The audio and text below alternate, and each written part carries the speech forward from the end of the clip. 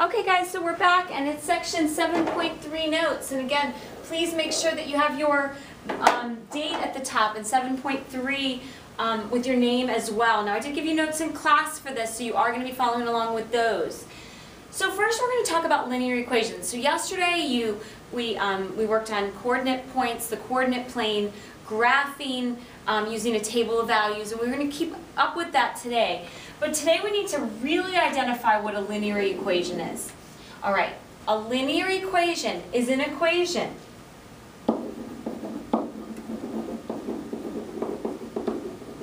in two variables. Where the highest power, the highest exponent,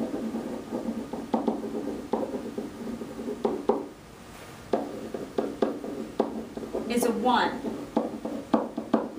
Now we talked about quadratic equations earlier this year. Quadratic equations, the highest exponent was a 2. Here, we're going to have a highest exponent is a 1. So let's look at things that are linear equations. All right, y equals 2x plus 1. It's a linear equation because the x and the y both have a highest exponent of 1. Or y minus 3x equals 1. Again, highest exponent of the x and the y is a 1. Not linear equations, all right. x squared plus y squared equals 4. Why is that not a linear equation? Because the highest exponent is a 2, not a 1. What about um, y equals x squared? Again, highest exponent we see is a 2, so it's not going to work for us. Really important for us to be able to distinguish when something is linear. Okay, so we're looking for those highest exponents to be a 1. All right, so we're going to graph like we did yesterday 2y minus 4 equals 4x by creating a table of values. Now, for this exercise, and like I said, normally I want you to have five values. So For this exercise, we're going to use three, and the ones I want us to use are negative 1, 0, and 1. Okay, so we're going to go ahead and substitute our x's in and solve for our y. All right, so 2y minus 4 equals 4 times negative 1. Okay? All right, so we get 2y minus 4 equals negative 4. we add 4 to both sides. We get 2y equals 0.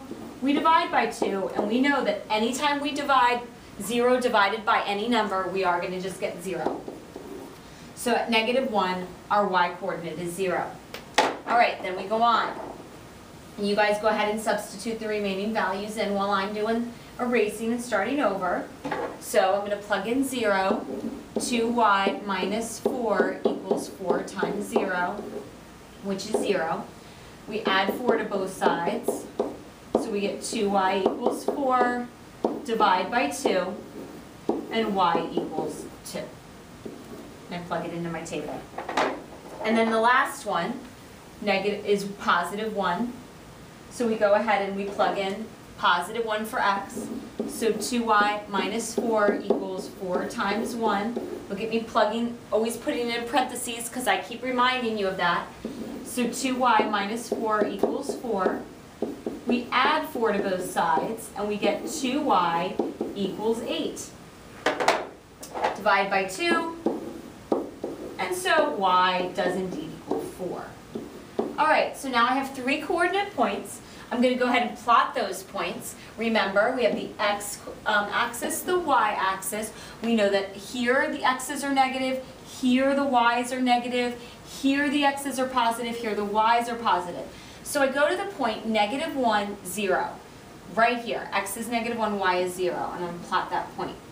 I go to the point 0, x is 0, y is 2, so up 2 on the axis. And then the point 1, 1, 2, 3, 4 along the y. Now, I draw a line through them. Look at that beautiful line in red. All right, so very, very, very important points on this graph that you guys should notice. They are called the x-intercept, and you have a fill in the blank, and the y-intercept. So I'd like you guys to go ahead and on the graph, I want you to go over and label it. This is the x-intercept. okay? And that point right there is the y-intercept. All right, let's define that for me, okay?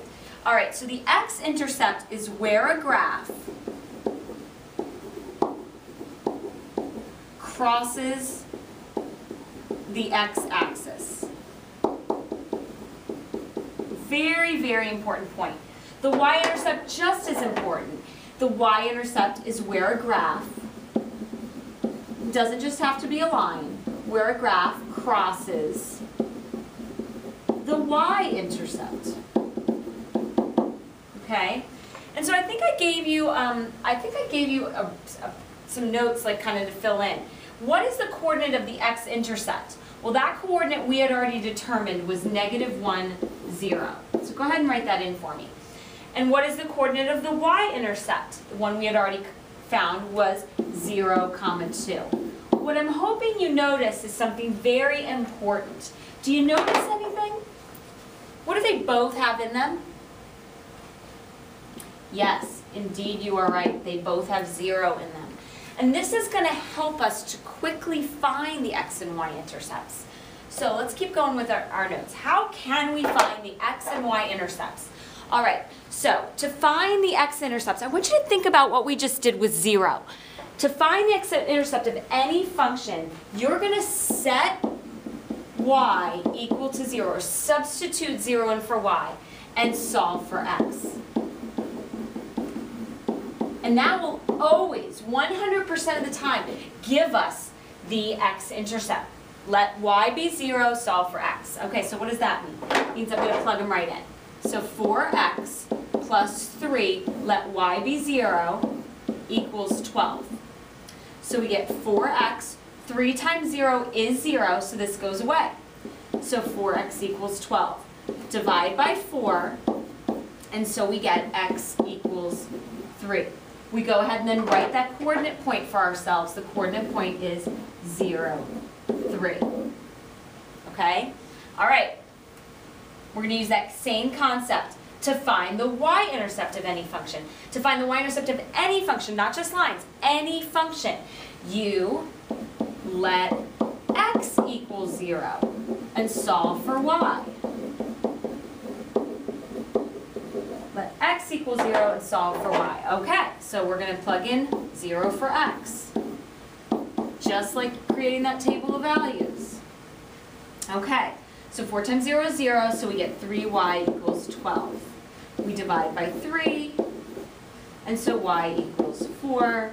We then write our coordinate point for our y-intercept, which would be x of 0, y of 4. And look at that. Oops, I wrote this one wrong, didn't I? Caught myself. That one should have been 3-0. Hopefully you guys caught me as well. Okay? All right, let's keep going. How can we use this concept to graph linear equations quickly? Well, sometimes we can graph them very quickly using the intercepts. So I still create that table of values for myself. But if I'm graphing them quickly using the intercepts, I just quickly let x be 0 and in this case, now I let y be 0. Now we just did this equation and we found x, the um, coordinate to be 0, 4, and then I think 3, 0. Is that correct? 0, 4, 3, 0. Good. Now I take those two coordinate points, x is 0, y is 4, 1, 2, 3, 4, and I plot it. And then 3, 0, so I cross over to, uh, count over 3 on x. And there I connect the two points and I'm done. There's my quick sketch. Now, how did I know that this equation was linear? How did I know I needed to sketch a line? Again, because the highest exponent is a 1. All right, now it's your turn. You try. Graph using the intercepts. 6x minus 2y equals 18. Again, you create your table of values. x, y, we only need two points if we're graphing using the intercepts. We're going to let x be 0. We're going to let y be 0. Okay, so you go ahead and do that. I'm gonna, you can press pause, and then you can come back and check. Okay? All right, so I'm going to let x be 0. So 6 times 0 minus 2y equals 18. This is gonna always become zero, so I negative, negative two y equals eighteen, and y equals negative nine when I divide by two on both sides. Do the same thing, I'm gonna let y be zero, so I have six x minus two times zero equals eighteen. Again, this is gonna go away, because two times zero times any number is zero. Six x equals eighteen, I divide by six on both sides, so x equals three. So I get the point three zero. I go to my graph. Now I want you to notice the scale on this graph that I have on my paper. I gave you guys a scale of twos. Remember, we were counting them off as ones. You can make your scale whatever you'd like. You just need to label it appropriately. So I've got 0, negative 9. So x is 0, y is negative 9 is down here. It's right in between the 8 and 9. So I'm going to plot the best point, 0, in between. Then I've got 3, 0, so x is 3, y is 0. It's in between the 2 and the 4, and there I've got that. And then, of course, I'm going to do my best attempt, I'm hard on the smartboard sometimes, to go ahead and graph my line, okay? So tomorrow in class, we are going to be practicing a lot of these graphing of the intercepts. All right, last thing for today, horizontal and vertical lines. Two very, very, very important lines. All right, I'm going to tell you that this is an equation of a line, and this is an equation of a line. But why do these equations look different than the other equations we've been graphing? Well, I hope you're saying that it's because they only have one variable. This one only has y, what happened to the x? This one only has x, what happened to the y? All right, well, let's consider the first one, okay? Let's make a table of values, and we're going to only use three points here. Um, we'll do negative 1, 0, and 1. All right, so those are my x coordinates. Let's, let's find out what y's are. If x is negative 1, what is this telling me? Well, there is no x. I have nothing to plug in, so what's y? It's 3. Okay, let's let x be 0. I have no x to plug it in, so what's y? It's 3. I have no 1 to plug in for x, so what's y? It's 3. Let's plot those points. Negative 1, 3, 0, 3, 1, 3, it's linear because the highest exponent is a 1. So look at that interesting line, okay? That is a horizontal line. The equation of a horizontal line is always y equals the y-intercept, okay? Always, so no matter what, whatever your y-intercept is, that is your equation. So if I give you a horizontal line going through that, just like that, the y-intercept is negative 3, so it would be y equals negative 3. What if I gave you a horizontal line and I didn't tell you what the y-intercept was? I said, okay, here's this horizontal line and here's the point, let's see, 1, 2, 3, 4, 5, 6, negative 6, one, two, three, four, five, six, seven. Negative six, negative seven. It's a horizontal line. Well, we look at the y coordinate. It's going to be the one that's going to be the most important for us. So y equals negative seven. Okay. Now the same thing happens on this side, but this one's equation is x equals, okay? This is a vertical line. means that no matter what the y coordinate given is, the x is always going to be 5. So we go to 1, 2, 3, 4, 5. Okay, if y is 0, x is 5. If y is 2, x is 5. If y is 7, x is 5. It is a straight down, up and down line. The equation is always going to be x equals the, the x-intercept. Okay, so that's why those x-intercepts, again, are really, really important. But these two lines, you are going to have to recognize from their equations. So I would spend some time remembering that y equals a horizontal line. One thing that you can help help yourself remember it is if you take a y and you flip it over, it looks like an h for horizontal. So maybe that's one way that you can help yourself remember that the y equals is a horizontal line, okay? All right, so we're gonna stop there and we are gonna be practicing this all tomorrow. And um, make sure you bring your notes in so that I know that you have done all the work and I'm going to be looking very specifically for all the notes that you took. So please make sure you took very good notes today, okay? All right, guys, have a good day.